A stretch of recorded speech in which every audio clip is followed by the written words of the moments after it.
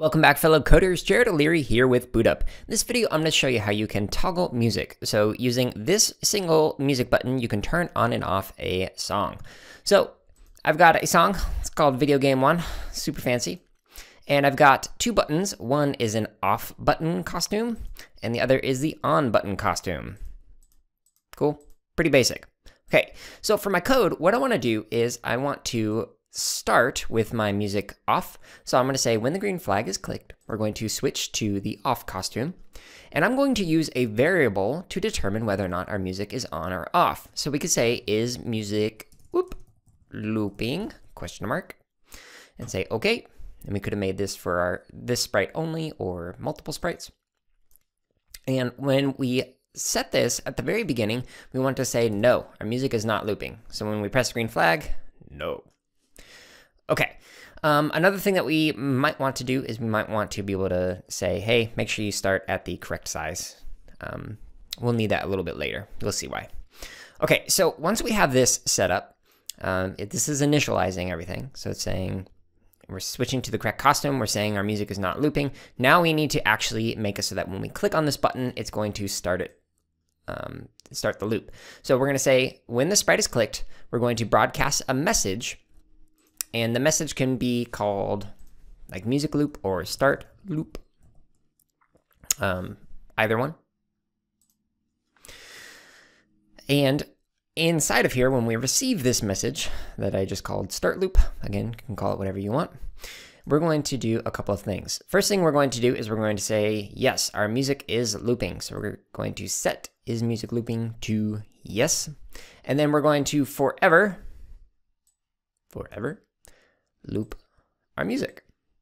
So we're going to play sound, video game one, until done. So I just talked a lot real quick. Let me explain. When we click on this, now it's going to broadcast start loop. When it does this start loop, it's going to set the variable right here to yes, because it's looping, and it's going to play the video game song until done. Let's see if that works. Cool. And we press the green flag to reset it it sets it to off. It says no, that it is not looping. Awesome, so it's working so far. So I wanna make it so that when I press this and then press it again, instead of re-triggering the song, it actually uh, will turn it off. Okay, so we're gonna use a conditional to make it so that we can um, toggle this on and off. So the conditional that we're going to use is the if-else block. And what we're gonna do is we're gonna say, if our music is not looping, no. So if is music looping equals no, then we want to run the code that we were just doing to start our loop. However, if it is looping, we want to make it stop this code from working. So to do that, we're going to say else, which is like saying otherwise. We're going to say stop the other scripts in the sprite, which will stop this from running. And we want to stop all sounds. And one more thing. We want to set this to no, because it's no longer looping. Okay, so if I click this button and it's not looping, so it's no, it's going to start the loop. However, if I click this button again and it is looping, it'll skip this chunk, it'll go to else, and then it'll stop the other scripts uh, from looping, it'll stop any sounds that's playing, and it'll set it to no. So let's try this.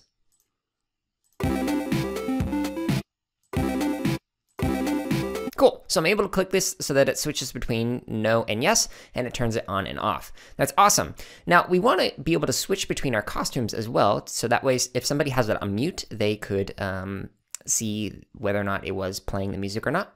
So in here, we're going to say that once we start the loop, we want to actually set it so that the costume is on, and when we stop the loop, once everything stops, we wanna set it off. So it's on, off, on, off. All right, so I just added some code in to make this even fancier. So what's going on here? When the sprite is clicked, if the music is not looping, no, it's gonna play a popping sound, so we know that we've clicked on something. It'll start a loop, and then it's gonna set the size to 100%. And it's going to make it get smaller by repeating change size minus two. And we're gonna do that five times, and then it'll switch to on. However, if the music is looping, it's going to stop everything. It's gonna stop the sounds. It's going to set it to no. And then here's the new code. It's going to make the pop sound, so we know that we clicked on a button. it's going to repeat five times, changing the size by two, so it makes the button get bigger, and then it's going to switch to off. So what this is going to do, if this is our button, the top part of the code, when you press the button, it's going to make it look like it presses down, and then the bottom part of the code, when you press it and it's already off, it'll come back up. So check this out. Make it bigger. So, so it's not looping, it's big, it gets small, big. So it's like we're pressing the button down, and then we press it again, and it comes back up. Now, let me show you one more thing in here. So if we want to actually start with the music looping, we want to switch our costume to on. We want to say that, is our music looping? And we want to say, yes, it is. And then we simply want to um, call our uh, loop right here, start loop. So we press the green flag, and it starts right here. And we can even say, hey, um, make it smaller by starting at 80% we start, it looks like the button's pressed down. Then when we click again, it gets bigger.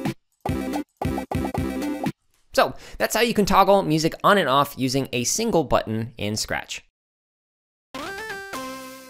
Hey everyone, if you're watching this on YouTube, go ahead and like, comment, and subscribe. If you're not watching us on YouTube, you can find us on that platform as well as other social media outlets by searching for Boot Up PD.